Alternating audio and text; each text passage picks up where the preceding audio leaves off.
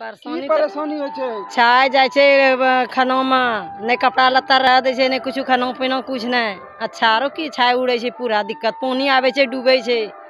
रोडों पर। भागलपुर के कहलगांव स्थित एनटीपीसी का एस जानलेवा बताया जा रहा है, कहलगांव के कई गाँवों में इसका असर दिख रहा है। हवा में जहर की तरह घुलकर घर तक पहुँच रहा है। नेशनल थर्मल पावर कॉरपोरेशन के एस डेक पूरी तरह से भर गया है। एस डेक में जमा कोयला का राख आसपास के गाँवों में फैल रहा है। तेज हवा के साथ उड़कर यह राख लगभग पाँच किलोमीटर दूर तक गाँव पहुँच जाता है, जिससे कि एस डेक के समीप बसे एकशारी मजदाहा कटोरिया सहित कई गाँवों के लोगों के स्वास्थ्य पर इसका असर पड़ रहा है। तो पूरा यानी घर एकदम छाय से एकदम भथा जाइ छै कपड़ा लत्ता सब में चल खाना पीना सब। बीमारी भी?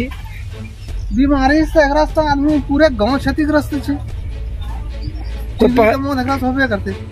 कोई पहल होला एकरा कोई पहल नहीं। कब कब मतलब ई उड़ै छै? कैसे उड़ै छै? जब पछिया हवा चलऽ लगे छै नी हम्म, पूरा उड़ा लगे मने आँख भीतर या जाना आना भी बंद हो जाए यहाँ। पानी उनी भी कोई गिरावट नहीं पूरा।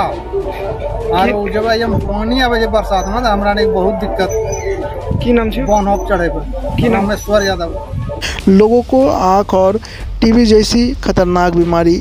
के शिकार हो रहे हैं। बुज़ुर्गों को सांस लेने में परेशानी होती है, साथ ही आसपास के खेतों में लगे फ़सलों पर भी इसका असर दिख रहा है। समय से पहले ही फ़सल पक जा रहा है, उत्पादन भी कम हो रहा है। हवा में घुलकर यह जहर लोगों के रसोई घर तक पहुँच रहा है।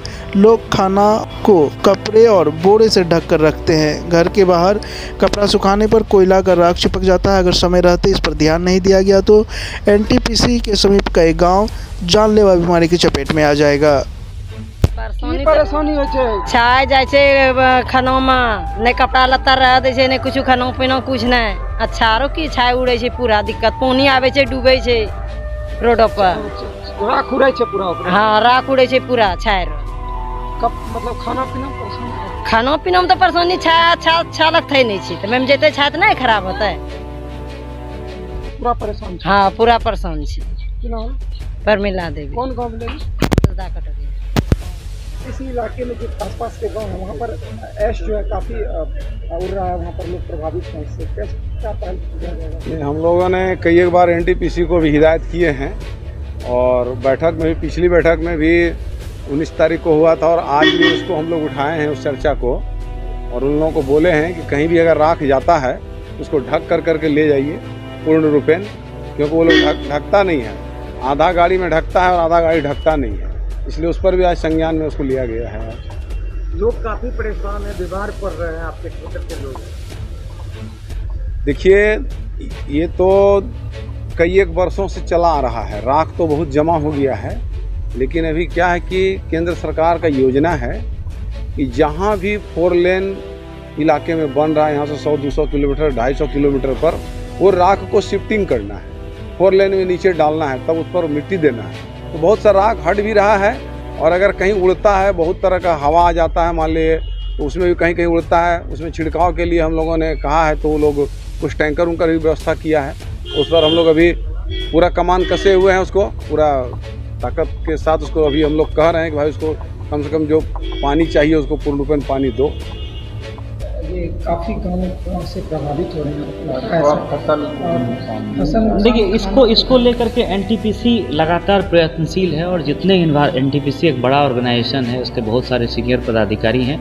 और एनटीपीसी के जैसे वरीय पदाधिकारियों ने आश्वस्त किया है, जो भी इसके उपाय किए जाने हैं इन्वायरमेंटल जो नॉर्म्स है, उसका अनुपालन किया जाना है, वो वो लोग कर रहे हैं। अगर कहीं अभी इसमें भी कुछ भी अगर त्रुटि होगी और वो संज्ञान में आएगा तो वो हम लोग उनके नॉलेज में डाल करके उस पर आवश्यक सुधारात्मक कार्रवाई करेंगे। लेकिन सबसे महत्वपूर्ण निर्णय जो कल हुआ है तीन जीएम भी आए हुए थे एनटीपीसी के जीजीएम साहब खुद आए हुए थे। जो फोर लेन का कार्य बहुत तेज़ गति से चल रहा है 400 करोड़ के लगभग हम लोगों ने भुगतान भी कर दिया है पिछले चार महीने में। ये काफ़ी समय से लंबित था। और अब आप देखेंगे सुल्तानगंज से लेकर के कहलगांव तक, पूरे स्ट्रेच में फोर लेन का काम तेज़ गति से चल रहा है। इसमें अब हर खबर पर होगी हमारी नज़र। पल पल बदलती देश और दुनिया की हर खबर।